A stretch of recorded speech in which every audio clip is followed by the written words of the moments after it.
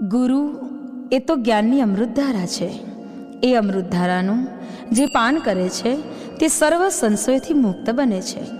ગુરુ પ્રત્યેની શ્રદ્ધાને અતૂટ અને દ્રઢ બનાવવા માટે દરેક સાધકે ગુરુ ભક્તિના રંગમાં રંગાવવું પડે છે. તો આવો, વિરાટ બ્રહ્મના દર્શન કરવા ગુરુની ભક્તિની, ભાવનાની ભરતીમાં ભીંજાવાનો પ્રયત્ન કરીએ. ગાયત્રી પરિવાર ડભોઈ પૂજ્ય ગુરુદેવ વિશ્વવંદનીયમાં ભગવતી દેવીના શ્રી ચરણોમાં સમર્પણ કરે છે. સૌ પરિજનોને જય ગુરુદેવ.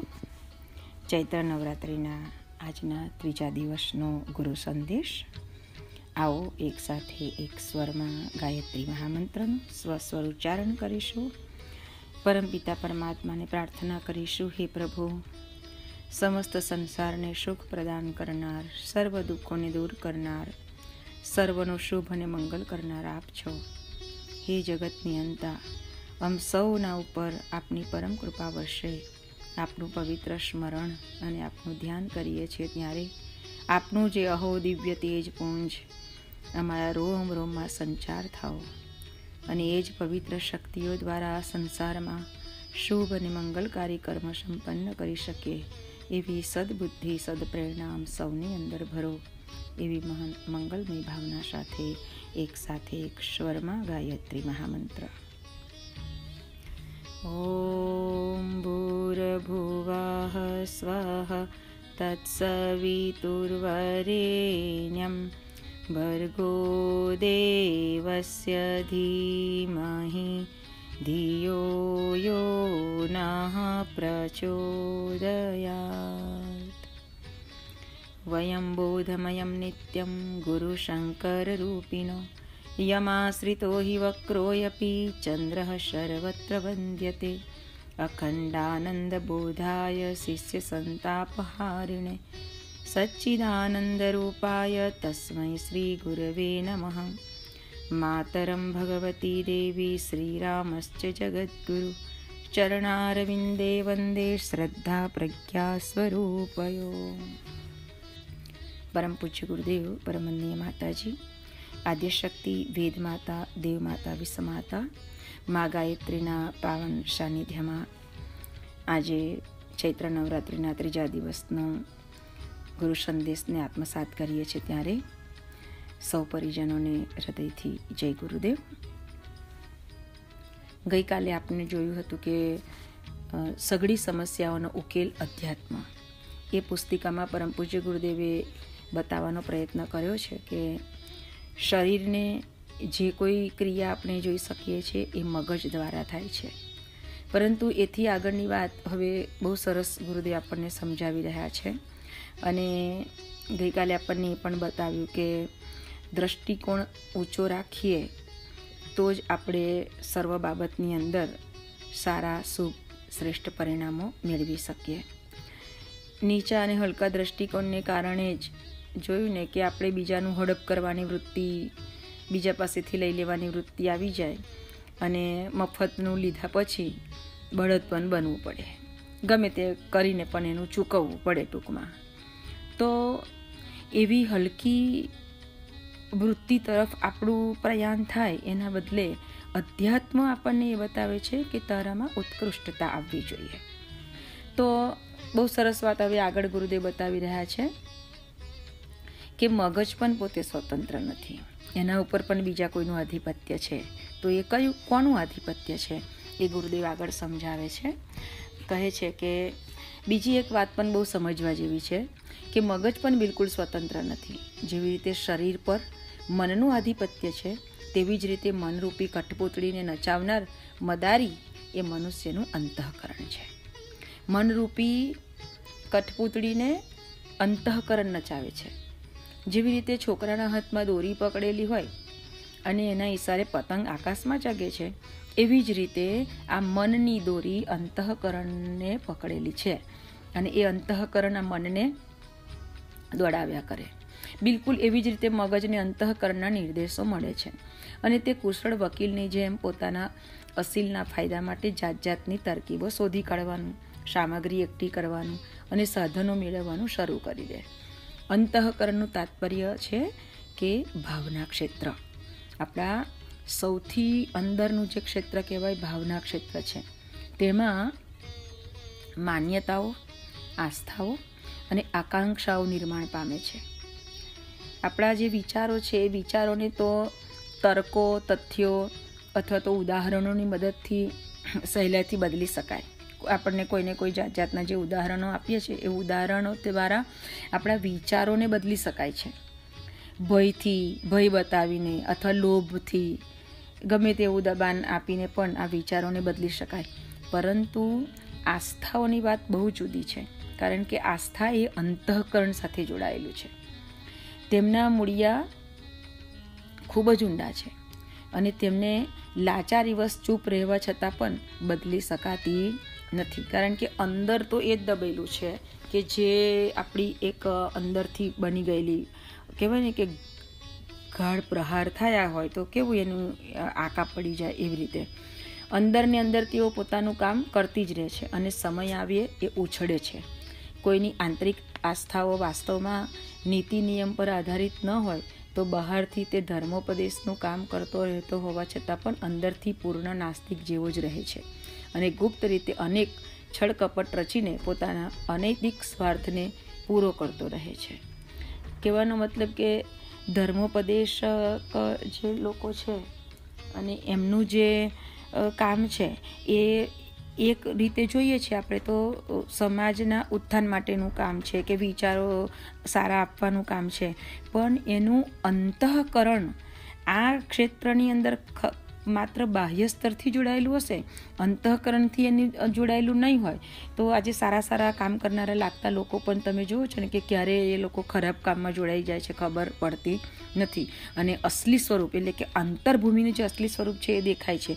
અને એના કારણે આપણે જોઈ શકીએ છીએ કે આજે કેટલા બધા ધર્મ ધુરંધરો કહી શકાય, સારા સારા લોકો કહી શકાય, એ બધા આજે કેવા કેવા દુષ્પરિણામોને કારણે કેવા ફળ ભોગવી રહ્યા છે. વધારે એની સ્પષ્ટ ચર્ચા ન કરતા ઈશારામાં જ સમજાય એવી વસ્તુ છે આ તો. એટલે કે ગુરુદેવ એ કહેવા માગે છે કે બહારથી માણસ ગમે તેટલો સારો લાગતો હોય, પરંતુ અંદરથી અનનું અંતઃકરણ જો એટલું સ્પષ્ટ નહીં હશે, આ આ આદર્શોથી ભરેલું નહીં હશે આસ્તિકતાથી ભરેલું નહીં હશે, આસ્થાથી ભરેલું નહીં હશે, તો એ ક્યારેક અનૈતિક સ્વાર્થને પૂરો કરવામાં પોતાની જાતને લગાવી દેશે, કંઈ કહેવાય નહીં, એક વખત એ પરમાદાનીય શ્રદ્ધે ચિન્મય પંડ્યાજીના પ્રવચનમાં એમને કીધું હતું કે, ગુરુદેવની પાસે એક સ્વયંસેવકે કોઈ એક બાબાની વાત કરી કે, ગુરુજી વો બાબાજી તો બહુ અચ્છા કામ કર રહા હૈ. તબ ગુરુદેવને કહ્યા હતા કે, બેટા, અભી વો મરા નહીં હૈ. મતલબ કે હજુ મરે ના, ત્યાં સુધી એ જો આ કામ કર્યા કરે, તો જ એ મનાય કે આને સારું કામ જીવનમાં કર્યું. કારણ કે જિંદગીમાં માણસની વૃત્તિઓ ક્યારે બદલાય ને ભટકે, માણસ કાંઈ કહેવાય નહીં એટલે ઘણા લોકોને આપણે નથી જોતા. આમ તો બહુ સરસ માળા ફેરવતા હોય, બહુ સારા ભજન ગાતા હોય, યજ્ઞ કરતા હોય, પણ અંદરની જે વૃત્તિ છે એ તો બિલકુલ હલકી ને નીચ જ હોય. એટલે કે બાહ્ય દ્રષ્ટિએ તમને વ્યક્તિ સારો લાગે, પણ અંદરની અંત અંતર્ભૂમિ જે છે એની, એ બિલકુલ નાસ્તિકતા જેવી છે. અને એના જ કારણે આવી સ્થિતિમાં મગજ તેને પૂરો સહયોગ આપે. એટલે કુટિલતાના કુચક્રો રચવા અને છળકપટ ભળ્યા દુષ્કર્મો કરતા રહેવાની ભૂમિકા એ બનાવતો જ જાય. અને એવા લોકોને આપણે જોઈએ છીએ ક્યારે કેવા કેવા બધા કુચક્રો રચે ને કોઈને ખબર પડવા દે. નહીં, એને એમ જ લાગે કે હું હોશિયાર છું અને હું જો કેવું બધાને બનાવી જાઉં છું. હું મારું આ કામ પતાવી દઉં, કોઈને ખબર ના પડે. પણ એ મૂર્ખને એટલી ખબર નથી પડતી કે અંતે તારો અંતર આત્મા તો એને દ્રષ્ટિથી જોવી જ રહ્યો છે. પરમાત્મા એને જોવે જ છે, ભલે કોઈ દુનિયાનો માણસ જોવે કે ના જોવે, એટલે એનાથી કોઈ બચી શકતું નથી. આવું મોટે ભાગે થતું રહે છે.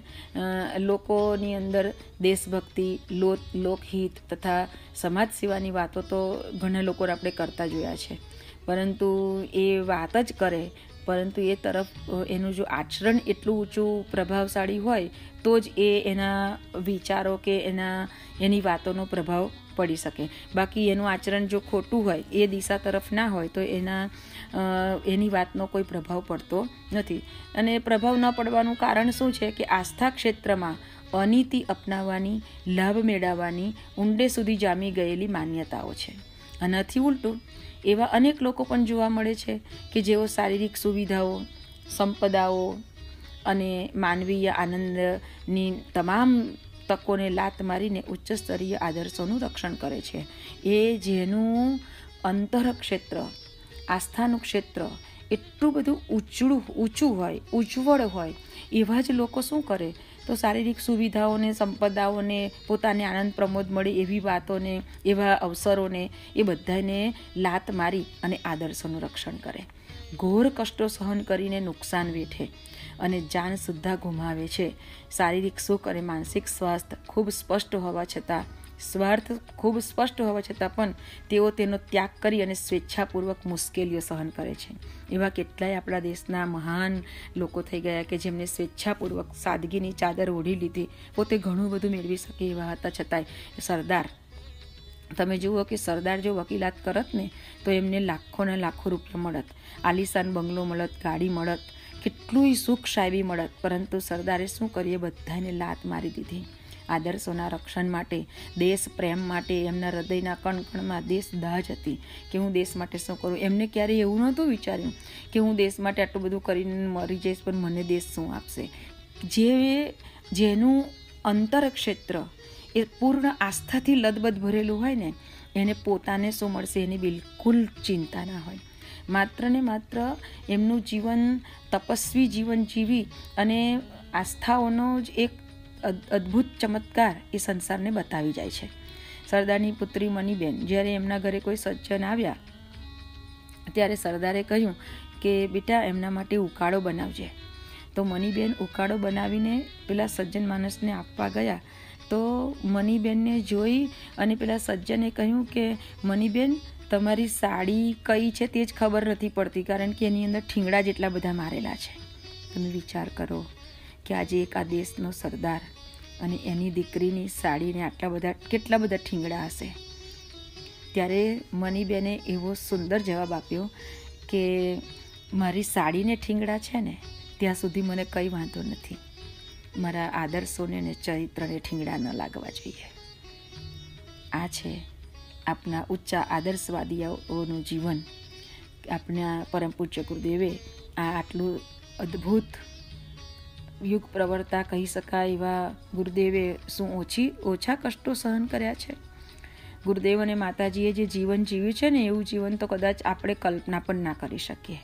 એવું જીવન એવો જીવી ગયા અને એ એમના જીવન જીવવામાં એટલી બધી પોતાના માટે કરકસરઈ અને પોતાના માટે કષ્ટો અને બીજાના માટે ઉદારતા, એવું એમનું જીવન હતું. અને એના કારણે જ પરમ આદરણીય જીજીએ એક વખતે માતાજીની જ્યારે વિદાય હતી ને તે વખતે માતાજીનો આ પ્રસંગ એમને કીધો હતો માતાજીની અંતિમ ક્રિયા થઈ તે વખતે તે વખતે જે દીદીએ કહ્યું હતું કે આ એ એ મેરી માँ નહીં એ સારે देशवासियों की माँ है सारे परिवार की माँ है माँ को हम विदा दे रहे हैं वो माँ के अंदर मैंने सबके પ્રતિ માँ का ભાવ मैंने देखा है એમ કહીને દીદીએ પોતાનું જીવનની બનેલી એ ઘટના કહી હતી કે જબ भी हम छोटे छोटे थे और हमको बहुत कुछ खाने का मन करता था माता जी सब लोग जो आते थे और सबकी वो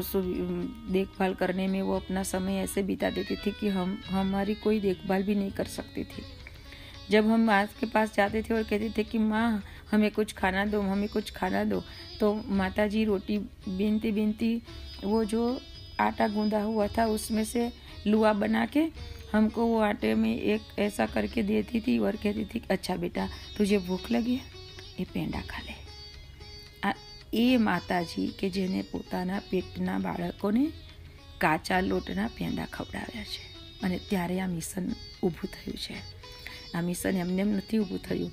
અને એ આદર્શવાદિતાઓને શીખવાડી જનાર ગુરુદેવ અને માતાજીએ જાતે પોતાની જાતને એમાં હોમી દીધી છે. અને ત્યારે આ મિશન બન્યું છે. માટે પરમ પૂજ્ય ગુરુદેવ અને માતાજી પ્રત્યે જો હૃદયના અંતઃકરણથી આસ્થા હોય ને, તો ગુરુદેવના આ વિચારોને આત્મસાત કરી અને આજથી આપણા જીવનમાં સ્વાર્થ નહીં, પરંતુ પરમાર્થને સ્થાન આપજો. આપણા દ્વારા કેવા સારા કામ થાય એનું ધ્યાન રાખજો. તેઓએ કદી પણ પોતાની પરવા નથી કરી કે નથી એમના પરિવારની પરવા કરી. લોભ, મોહની કે અભાવ કે કષ્ટોની પરવા કર્યા વગર એઓ પોતાનું કામ જ કરતા રહ્યા. અને જરા પણ મનને લાલચમાં કદી પણ ફસાવા નથી દીધું. ક્યારેય પણ કોઈ પણ પ્રકારની લાલચથી ગુરુદેવ પ્રભાવિત નથી થયા. અને એટલે જ બિરલાજી જ્યારે ગુરુદેવ પાસે ગયા હતા, કેટલા રૂપિયાની બેગ ભરીને, કરોડો રૂપિયા. ગુરુદેવે કીધું કે, ના, મારે આ પૈસાથી મંદિર નથી બનાવવું. અને ગુરુદેવે કહ્યું કે, હું તો હાલતા ચાલતા મંદિર બનાવીશ. એ ગુરુદેવના આપણે બાળકો છીએ અને એ ગુરુદેવ આપણને આજે એ સમજાવી રહ્યા છે કે જીવનમાં સઘળી સમસ્યાનું સમાધાન અધ્યાત્મ છે અને આ અધ્યાત્મ દર્શન છે. ગુરુદેવ અધ્યાત્મ દર્શન એટલે આને કહેવા માગે છે અધ્યાત્મ દર્શન. આ અધ્યાત્મ દર્શન કોઈ સામાન્ય વસ્તુ નથી. કહેવાથી ચતુરતા, બુદ્ધિમત્તા, એમના ગળે જરા પણ આ વાત ઉતરતી નથી કે જે લોકો પોતાની બુદ્ધિ ચતુર્યતાથી કામ કરતા હોય ને એ લોકોને આવી વાતોનો સજ્જય મગજમાં ના ઉતરે. એ લોકો તો જેવું એમનું જીવન જીવતા હોય એવું જ જીવવા માગે. કારણ કે માણસ અંદરથી પોતાની આત્મિક પરિવર્તનની જે વ્યવસ્થા છે એને બદલવા જ નથી માગતો. અને એના કારણે આ તકલીફ ઊભી થાય છે. તેઓ કષ્ટસાધ્ય પરિસ્થિતિઓમાં રહેવા છતાં પણ સંપત્તિવાળા લોકો કરતાં ઘણા વધારે સુખી અને સંતુષ્ટ જોવા મળે છે, જે લોકો આદર્શવાદિતાથી જીવન જીવે છે. અને એના કારણે તેમના ચહેરા ઉપર દરેક પરિસ્થિતિમાં હાસ્ય જ ફરકતું હોય. ગુરુદેવ કહેતે ને, સદા મુસ્કુરાતે રહો. પરિસ્થિતિ તો ગમે તેવી આવતી જશે. મનસ્થિતિને બદલી નાખો અને સદા મુસ્કુરાતે રહો. આ આસ્થાની ઉત્કૃષ્ટતાનો બહુ મોટો ચમત્કાર છે. ક્યારેય પણ ગમે તેવી પરિસ્થિતિ આવી હશે, પણ કોઈ ફરિયાદ નહીં. અને આજે આપણું જીવન નાની નાની બાબતોમાં બસ દુઃખના રોદરા રડવાના નાની નાની બાબતોમાં ફરિયાદો કરવાની, અને આવું કરી દીધું પહેલાંય પેલું કરી દીધું. બસ આપણે બીજાની ફરિયાદો જ કરવામાં જીવન વિતાવીશું, તો આપણે ક્યારેય આપણા જીવનને ઉજ્જવળ બનાવીશું? ક્યારે આપણે આપણા જીવનમાં કંઈક પરિવર્તન લાવીશું? આપણી અંદર તો કંઈક ઝાંખી કરીને જુઓ તો ખરા કે આપણે ક્યાં છીએ? આસ્થાઓ વ્યક્તિત્વના ખૂબ જ ઊંડા મર્મસ્થળમાં જામેલી હોય છે. અને આ ઊંડા મર્મસ્થળમાં જામેલી આસ્થાઓ સુધી પહોંચવા માટે જ ગુરુદેવે આપણને ધ્યાનની પ્રક્રિયા બતાવી છે કે ધ્યાનથી, ધ્યાન કરો, શાંતિથી બેસો. પોતાના એ ત્રણે ત્રણ શરીરનું ધ્યાન પંચકોષનું ધ્યાન, અમૃત વર્ષાનું ધ્યાન ગુરુદેવ કરાવીને આપણી અંદરની એ આસ્થાની અંદર મર્મસ્થાનમાં જામેલી જે આસ્થા છે, એનો ઉભાર લાવવા માગે છે અને જે અનૈતિકતા છે, એનો નાશ કરવા માગે છે. ચેતનાની આ જ ભૂમિકાને અંતઃકરણ કહેવામાં આવે છે. ચેતનાની આ જે ભૂમિકા છે, એને અંતઃકરણ કહેવામાં આવે છે. મનોવૈજ્ઞાનિકોની દ્રષ્ટિએ આ અંતર અચેતનનું અચેતન મન કહેવાય છે અને જે જેનું પળ ખૂબ ઊંડું છે. તર્ક એ મગજને પ્રભાવિત કરે છે, પરંતુ અંતઃકરણ તેનાથી પ્રભાવિત થતું નથી. આ ક્ષેત્રને સુધારવા, બદલવા અને ઊંચા ઉઠાવવા માટે બહુ જ ઊંચા સ્તરની આસ્થાવાન વ્યક્તિઓ દ્વારા જો વિચાર પ્રક્રિયા ફેલાવવામાં આવે, તો જ એનાથી કામ બની શકે છે. અને ગુરુદેવ કહેતા ને કે મેં વ્યક્તિ નહીં, મેં વિચાર હું. અને તમે જોજો કે આ ગુરુદેવના વિચારો આજે નહીં, આવતીકાલે આખી દુનિયાને અપનાવવા પડશે. અને એ વિચારોની કેવી લોકોના અંતઃકરણ ઉપર પ્રભાવ પડે છે તે તમે જોઈ શકો છો. આજે ઘણા બધા લોકો આજે ગુરુદેવના સાહિત્યને જ પોતાના જીવનમાં સ્થાન આપી અને પોતાનું કાર્ય કરી રહ્યા છે. આવા સ્તરના ચિંતનને અધ્યાત્મ કહેવાય છે. તેના માટે સામાન્ય જ્ઞાન પૂરતું હોતું નથી. તેના માટે તત્વજ્ઞાન અને બ્રહ્મજ્ઞાનની જરૂર છે. એણે એટલે જ કહેવાયું છે કે આ અંતઃકરણની અંદર જે પ્રભાવ તમે રેડો ને, એ પ્રભાવ તમારા જીવનનો વ્યવહાર બની જાય છે. એટલે કહેવાયું છે કે નાના નાના બાળકો નાના હોય ને, ત્યારથી જ એમને ખૂબ આસ્થાવાન બનાવવાનો પ્રયત્ન કરો. તેમને અત્યારે તમે જુઓ કે માણસ એટલો બધો વિચારોથી દુબળો અને પાતળો, નબળો પડી ગયો છે કે એને પોતાનું તો જીવન બરબાદ કર્યું છે, પણ એના બાળકોનું, એની પેઢીનું જીવન બરબાદ કરી રહ્યો છે. નાના નાના છોકરાઓના હાથમાં મોબાઈલ પકડાવી દીધા લેપટોપ પકડાવી પકડાવી દીધું, હે? અને આ આ બધું આપીને બાળકોની જિંદગી બરબાદ કરી રહ્યા છે. આ નાના સરખા બાળકોના હૃદયમાં આસ્થા પ્ર સ્થાપિત થાય એના માટે એમને એમને નિયમિતતા શીખવાડો. સવારે ઉઠીએ, ઉઠીને આપણે બ્રશ કરીએ, નાહી લઈએ, નાહીને ભજન કરીએ, ભગવાન પાસે બેસીએ, ભગવાનનું સ્મરણ કરાવીએ. ટાઈમ આપો. નાના બાળકોની પાછળ ટાઈમ આપો. એમની સાથે બેસો, એમને આ બધું કરાવો. અત્યારે જે કરાવશો ને, એ એના અંતરચેત અંત ચેત અચેતન મનની અંદર સ્થિર થઈ જશે. અને જેથી કરીને એને પછી એ બરાબર પ્રગાઢ બની જશે, તો બહારની પ્રક્રિયા, બહારની સ્થિતિ એને કોઈ અસર નહીં કરે અને અંદરથી તેનું આ બધું સાત્વિક ભાવ જ ઉભર, ઉભરો આવશે. એટલે આસ્થા એની પરિપક્વ બનશે. ગમે તેવી ખોટ ખાઈને પણ વ્યક્તિ આ ઊંચા આદર્શોને પોતાના જીવનમાં સ્થાપિત કરવા માટે પ્રયત્ન કરે કરીને કરે જ. એ ગમે તેવી સ્થિતિઓને અંદર પણ આપણા, આપણને, આપણે શું મેળવી લઈશું એ ભૂલી જાઓ. પણ એ બીજાને કંઈક આપી લેવાનો પ્રયત્ન કરવામાં આવે. પરમ પૂજ્ય ગુરુદેવનું અંતઃકરણ કેવું હતું કે જોયું ને કે જ્યારે એમના ઘરે કામ કરવા આવનારી એક હરિજન બાય હતી છપકો, એને બે ત્રણ દિવસ આવેલી ના જોઈએ એટલે ગુરુદેવ એના ઘરે પહોંચી ગયા કે કેમ હજી દેખાતા નથી બા? અને જઈને જોયું તો એ તો ફાટેલી તૂટેલી ખાટલીની અંદર પડેલા હતા. કેવી, એની ઝૂંપડી પણ કેવી બધી ખરાબ હાલતની હતી. આવી તૂટેલી ફૂટેલી ઝૂંપડીમાં રહેનારા આ ગરીબ બાઈ અને એને માદી પડેલી જોઈ એટલે ગુરુદેવ તો તરત એની ઘરે ગયા, એને પાસે પહોંચી ગયા, એની જોડે બેસી ગયા, એને પૂછ્યું, એને માથું દબાવી આપ્યું અને જોયું કે એના હાથમાં ફોલ્લો થયો છે. ઘરે જઈને ફર્સ્ટ એડ બોક્સ લઈ આવ્યા. ગુરુદેવ નાના હતા ને ત્યારથી આવું રાખતા અને તરત જ એને પટ્ટી લગાવી દીધી અને પોતાના ભાગનું ખાવાનું હતું, એ ગુરુદેવે એને આપી દીધું. તમે જુઓ કે કેટલો એમને વિરોધ સહન કરવો પડ્યો. ઘરના લોકોએ કીધું કે તને ઘરમાં નહીં પેસવા દઈએ તો આવું બધું ના કરીશ. તને આવી રીતે ના રખાય ઘરમાં. તને મંદિરમાં રહેવું પડશે. કોઈ પણ વાતનો પ્રભાવ ગુરુદેવ ઉપર ના પડ્યો. ગુરુદેવને કેટલું બધું કીધું, તને ભોજન નહીં મળે, આમ થશે તેમ થશે. તો પણ ગુરુદેવના મન પર કોઈ પ્રભાવ ના પડ્યો. કેમ? કારણ કે તેમનું અંતઃકરણ જે હતું, એ તો આ ઊંચા આદર્શોથી ભરેલું હતું. એટલે એને આવી બહારની કોઈ પરિસ્થિતિ, કોઈ ડરાવે ધમકાવે કે એનાથી એને કોઈ અસર થાય એવું હતું જ નહીં. એટલે ગુરુદેવ પોતાના ભાગનું ખાવાનું એમને થાળી બહાર આપતા ને તો એમાંથી અડધું લઈને પાછા પેલા બાઈને ખવડાવી આવતા હતા. આ ગુરુદેવ હતા આપણા. કે બીજાની દશાને કેવી રીતે આપણે સારી કરી શકીએ? બીજાનું કેવી રીતે શુભ થાય? બીજાનું કેવી રીતે મંગલ થાય? એ એ ચેતના હતી ગુરુદેવની. એના અંતઃકરણની આ દર્દ હતું, અને એ દર્દને આપણે મહેસૂસ કરવાનું છે, એ દર્દને આપણે લેવાનું છે. પણ આપણું તો મન કેવું? કોઈકના ઘરેથી, ગામડેથી જો રીંગના ભરીને થેલી આવી હોય, તો આપણે શું કરીએ? કીધું હોય તો મને કે ભાઈ આજુબાજુમાં આપજો, ગીતાબેનને આપજો અંસાબેનને આપજો, જયાબેનને આપજો, તો આપણે એવું કરીએ કે પહેલાં થેલી ખાલી કરીએ સારા સારા હોય તે આપણે લઈ લઈએ. પછી જે હોય જેવો, જેવા તેવા બધા જે હોય એમાંથી બીજાને વેચવાના હોય તેને વેચી દઈએ. આ આપણું મન એટલે વિચારીએ. એટલે કહું છું કે આપણે શાંતિથી વિચારવાનું કે આપણે કયા સ્થાનમાં આવીએ છીએ. આપણું અંતઃકરણ કેવું છે? આપણી હરકતોથી જ આપણને આપણું અંતઃકરણ ખબર પડશે. અને જો આપણને દુઃખ થાય કે અરે રે રે મારું આટલું નીચા સ્તરનું અંતઃકરણ છે, તો પછી તમે એને બદલવામાં લાગી જજો. તેના માટે સામાન્ય જ્ઞાન પૂરતું હોતું નથી, એ એમને એમ નથી બદલાય એવું. એના માટે તો તત્વજ્ઞાન અને બ્રહ્મજ્ઞાનની જરૂર પડે છે. આવા પ્રકારની દાર્શનિકતાને બ્રહ્મ વિદ્યાનું નામ આપવામાં આવ્યું છે. આત્મવિજ્ઞાનનું અધ્યાત્મનું કાર્યક્ષેત્ર આ હોય છે. એટલે અધ્યાત્મનું કાર્યક્ષેત્ર શું છે? અંતઃકરણથી ઉદારતા. અંતઃકરણથી ઉદારતા. અને એવા અંતઃકરણથી ઉદાર બનીને આપણા કેટલાય પરિજનોએ ખૂબ સરસ કામ કર્યું છે. ખૂબ સરસ કામ કર્યું છે. એવા કેટલાય દટાઈ ગયા છે ગુરુદેવની સાથે.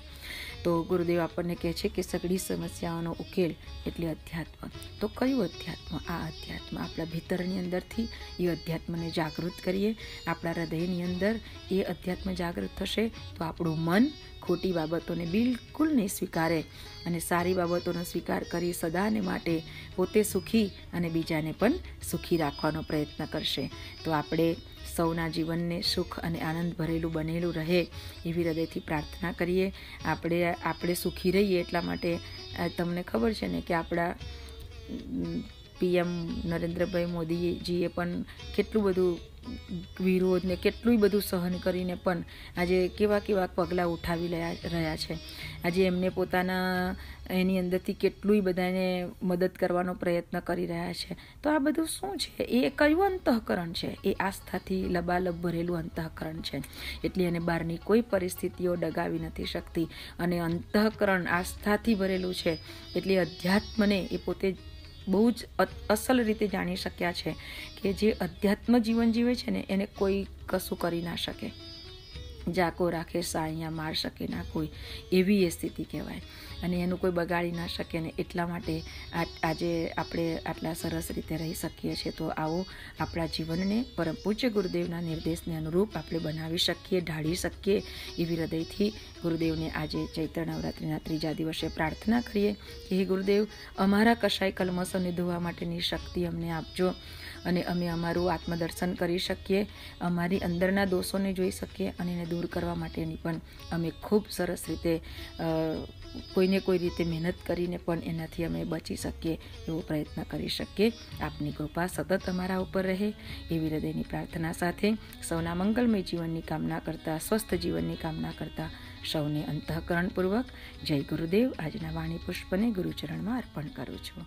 જય ગુરુદેવ.